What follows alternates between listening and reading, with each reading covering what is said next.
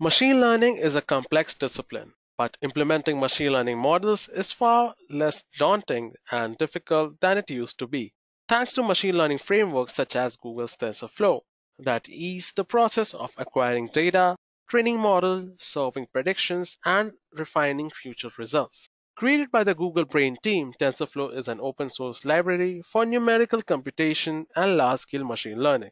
TensorFlow bundles together a slew of machine learning and deep learning models and algorithms and make them useful by way of common metaphor.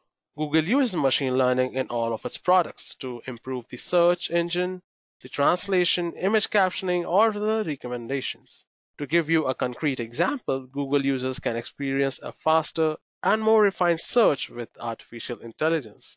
If the user types a keyword in the search bar, Google provides a recommendation about what could be the next word. Now, TensorFlow is being used by a lot of companies in the industries, and to name a few, first let's start with Airbnb, the leading global online marketplace and hospitality service. The Airbnb engineers and data science team applies machine learning using TensorFlow to classify the images and detect objects at scale, helping to improve the guest experience. And if we talk about the healthcare industry, Using TensorFlow, GE Healthcare is training a neural network to identify specific anatomy during the brain MRI exam to help improve speed and reliability. Now, PayPal is using TensorFlow to stay at the cutting edge of fraud detection. Using TensorFlow, deep transfer learning, and generative modeling, PayPal has been able to recognize complex fraud patterns to increase fraud decline accuracy while improving the experience of legitimate users through increased precision in identification. China Mobile is using TensorFlow to improve their success rate of the network element cutovers. China Mobile has created a deep learning system using TensorFlow that can automatically predict the cutover time window, verify log operations, and detect network anomalies. And this has already successfully supported the world's largest relocation of hundreds of millions IoT HSS. Let's talk about the TensorFlow feature, what makes it stand out from the other competition. So TensorFlow offers multiple level of abstractions so you can choose the right one for your needs.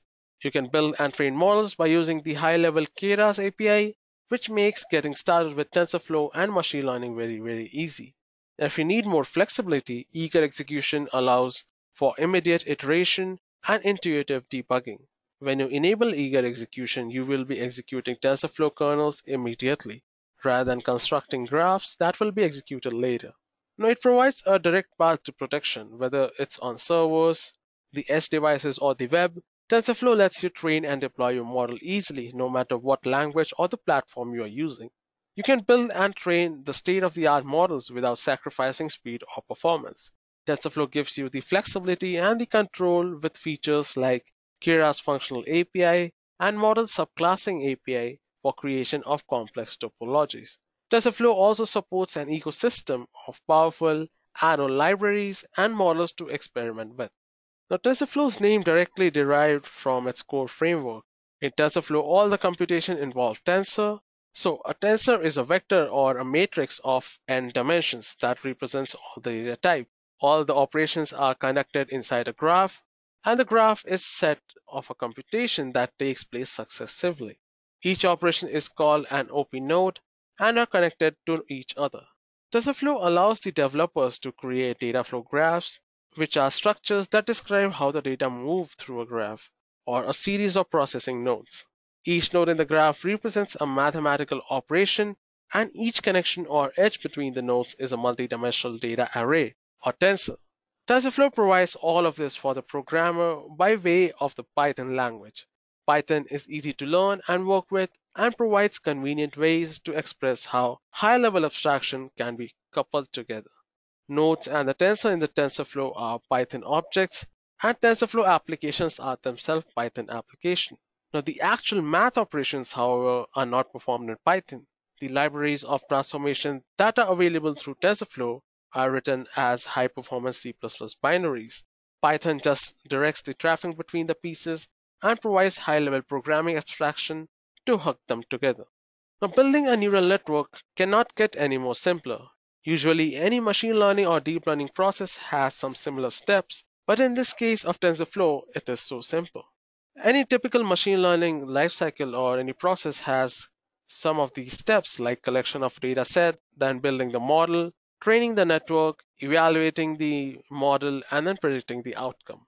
In case of TensorFlow, most of the time is occupied in the collection of data set. Now building your model requires only a few lines of code. Training the network is just a single line. Evaluating the network or the model itself is a single line of code and predicting the model is also a single line of code. Now, training a neural network cannot get any more easier than this. And that is why TensorFlow remains at the top when compared to the other competitors. Now, TensorFlow competes with a slew of other machine learning frameworks like PyTorch, CNTK, and MXNet. These are the three major frameworks that address many of the same needs. Now, PyTorch, in addition to being built in Python and has many other similarities to TensorFlow, the hardware accelerated components under the hood, a highly interactive development model that allows for designing as you go work, and many useful components are already included. Now, PyTorch is generally a better choice for fast development of projects that need to be up and running in a short time, but TensorFlow wins out for larger projects and more complex workflows. CNTK, the Microsoft Cognitive Toolkit, like TensorFlow, uses a graph structure to describe the data flow, but it focuses more on creating deep learning neural network. CNTK handles many neural network jobs faster and has a broader set of APIs for Python, C++, C Sharp, and Java, but CNTK isn't currently as easy to learn or deploy as TensorFlow.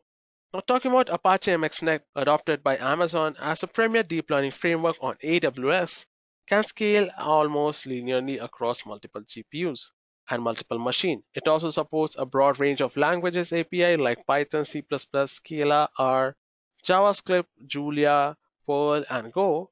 Although its native API aren't as pleasant to work with as TensorFlow, it is also in the market.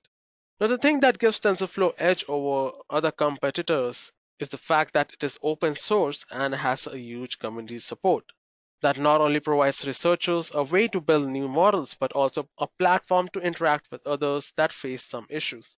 Now, if we talk about a simple program in TensorFlow, so any program basically consists of a construction phase and then an execution phase.